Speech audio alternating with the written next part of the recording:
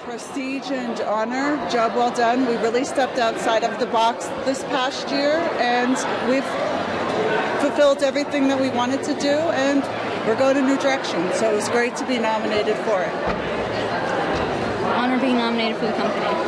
It's a great accomplishment. It, it's great to be recognized and to be noticed, and I'm very proud for me and my company.